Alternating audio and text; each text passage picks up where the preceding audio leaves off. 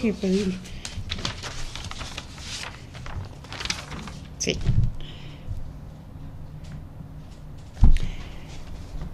Hola amigos, muy buenas noches. Qué gusto de estar de nuevo con ustedes. Tengo mucho que contarles como siempre. Quiero que estén bien listos, que aprovechen la energía del cielo. Trae bendiciones y retos muy importantes. Hay que hacerlos en orden y estoy aquí para apoyarlos, para decirles cómo es este orden y qué es lo que el cielo nos está eh, exigiendo, regalando, ofreciendo. No lo vamos a desperdiciar, no, si estoy yo aquí con ustedes. Así que el teléfono del estudio es 47 52 28 48. Por favor, escríbanos a arroba a y a planeta2013 arroba hotmail.com. Bien, entonces empezamos a trabajar, que tenemos mucho que, tengo mucho que decirles. A ver, la primera imagen.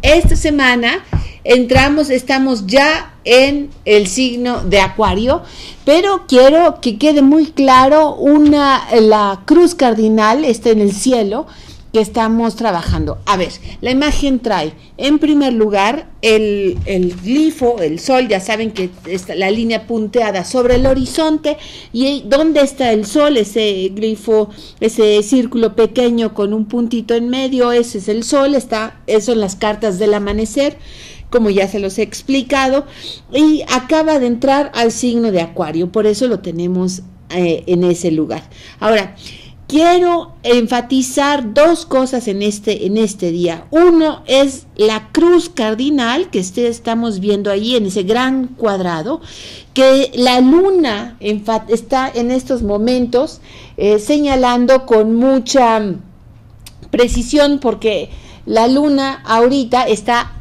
en conjunción en este preciso momento con Marte en Libra. Eh, un poco hacia arriba, Diego, te voy a decir esa parte, en la parte de arriba, exactamente. Allí la luna dice a 12 grados, pero en eso es el amanecer. Ahorita está a 20, a 19 grados y 20 grados. Marte. Entonces todo el día ha habido una exigencia muy peculiar porque lo que quiero es que quede grabado qué es esta cruz cósmica que hemos estado em, disfrutando y padeciendo, porque, porque no decirlo, desde que entró el, el sol o desde que entró el sol a Capricornio, ahorita se salió y se libera un poco y eh, se va eh, eh, porque está en, acuario. Pero la cruz sigue y necesito que aprovechen esta, la, la idea de, de, la siguiente manera.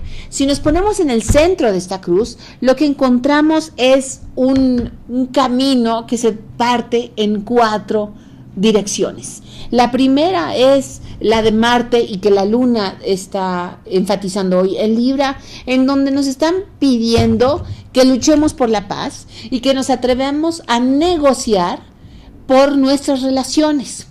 Eh, de uno a uno o de grupo. No es el signo típico de Libra en donde a toda costa me tengo que quedar callado para conservar la relación. Ese no es el momento. Y Marte, como se los he dicho en otros programas, va a estar en Libra exigiendo que hagan algo por mejorar sus relaciones, por mejorar la paz, porque si la paz en el mundo la deseamos, empieza con nosotros mismos, con nuestros allegados, con nuestra familia extendida, con nuestros amigos, con la sociedad, con el trabajo, en fin, va encreciendo. Así que no nos podemos quedar quietos. Esa es una dirección. La segunda dirección es la maravilla de Júpiter en cáncer que dice eh, todo el crecimiento, la protección, la bonanza. Hay un lugar muy especial en todos nuestros corazones y áreas de nuestra vida. En un momento les voy a decir qué le corresponde a cada signo específicamente Júpiter. Pero eso está, eh, una cosa es proteger las cosas y otra cosa es negociar y entonces esa es la segunda dirección, protección. La tercera dirección es el área de Urano en Aries. Normalmente Aries es un signo muy valiente, específicamente porque no le gusta sufrir el miedo o atender el miedo que está sintiendo. Entonces se lanza Así ya de una vez acabo con él, esa es su naturaleza. Y en este sentido, Urano le está pidiendo que sea pionero e innovador de muchas cosas, que descomponga el área que le toca a cada, a cada persona, a cada signo ascendente y proponga algo nuevo, algo creativo el tercer camino. El cuarto y último camino es una descomposición, una misión transformadora de los valores, de, las, de los amores, de los haberes que tenemos. Entonces, nosotros nos encontramos en el centro, si tomamos eh, la posición geocéntrica, y además es literal. ¿Cuál de esos caminos tomar? No es posible uno solo, porque entonces los otros empiezan a jalar con líneas invisibles. La idea que les traigo es que hagan las cuatro cosas, es decir, que sean suficientemente valientes para innovar, para revisar sus valores, haberes y amores, y además que protejan a los suyos y a los que los rodean con esta nueva postura. Es una eh, opción compleja, lo sé, pero ese es el regalo del cielo. Siendo que se trata de una cuadratura, quiere decir que hay que luchar por eso. No va a haber manera de sentarse. Durante el programa les voy a ir diciendo... Eh, regalos que tenemos ahí al lado que están de nuestro favor y nos van a facilitar el trabajo. Pero ahorita quiero que entiendan que la energía cardinal de esto se va a ir enfatizando durante todo el año. Precisamente ya lo traemos desde la entrada del solsticio de invierno. En la primavera esto va a ser todavía más preciso y más exacto hacia abril y no los voy a dejar que lo olviden porque aquí voy a estar con ustedes, pero la primavera entera, o sea, todo... Eh, de marzo, abril, mayo y junio, el 20 de junio, y todavía un poco de, del verano, estará activa. No desperdiciemos el año, es un año de muchos logros.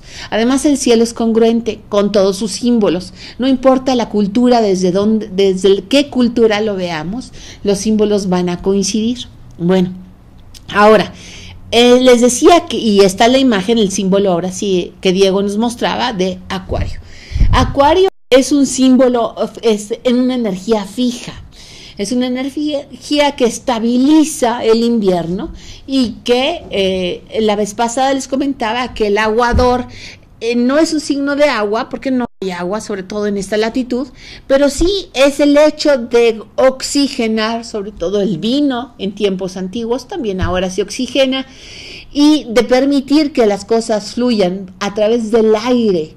Entonces es un momento en donde las ideas han estado fluyendo, lleva dos días porque estamos en dos grados de, eh, del sol en Acuario y eh, podemos ver la que sigue si quieres, Diego. Y Mercurio también está en Acuario. Entonces, eh, hay una idea que les quiero transmitir. El antiguo regente de Acuario era Saturno. Y recuerden que era el planeta último, y es el último planeta que se ve en el cielo a simple vista. En este momento está ascendiendo sobre el horizonte al, al amanecer, antecede con unas tres o cuatro horas al sol, lo podemos ver si la noche lo permite. Ahora, em, entonces, eh, Saturno es el antiguo regente y el planeta mismo es un planeta muy ordenado, eh, aquí lo traemos con una luz artificial, desde luego con las ondas viajero.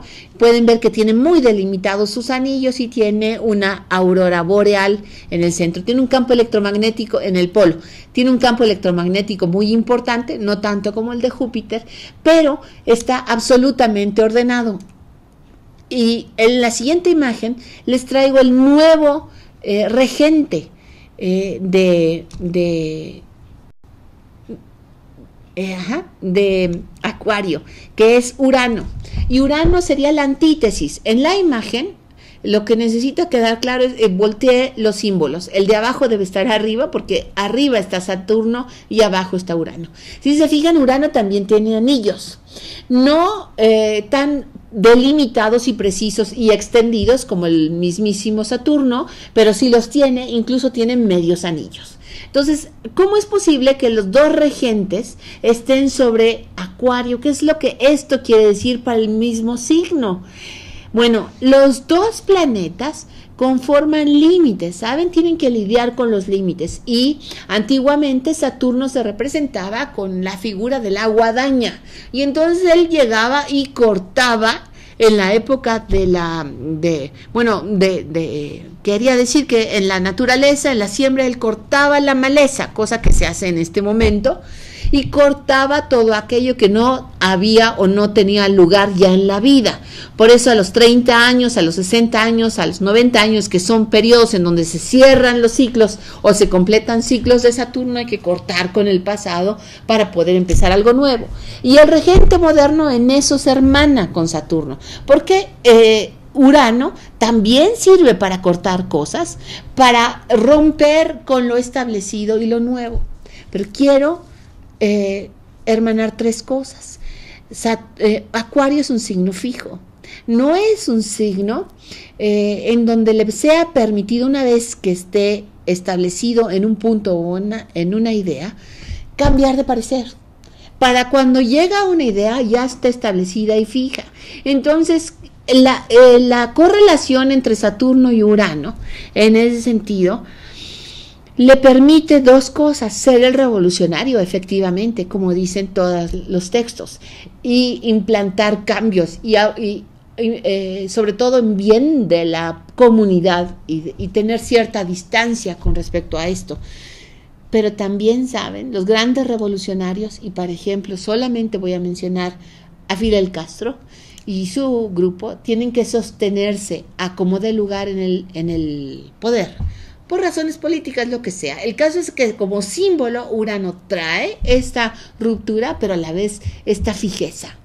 Los dos símbolos hermanan sobre Acuario y hacen que se, em, que se dé esta especie de contradicción en donde se corta lo antiguo, pero se establece fijamente lo nuevo. Entonces, aprovechemos de Acuario esta capacidad de razonar sobre diferentes desde diferentes puntos de vista las ideas y con la compañía de Mercurio, que lleva ya varios días en Acuario, encontremos la manera de lidiar o de por lo menos concebir en nuestra mente cómo hermanar esta energía que nos impulsa a salir adelante, a crecer. En unos momentos regreso con ustedes y les voy a decir toda esta cuadratura, esta eh, posibilidad de energía cardinal y acuariana, a qué le corresponde a cada signo. Regreso, no se vayan.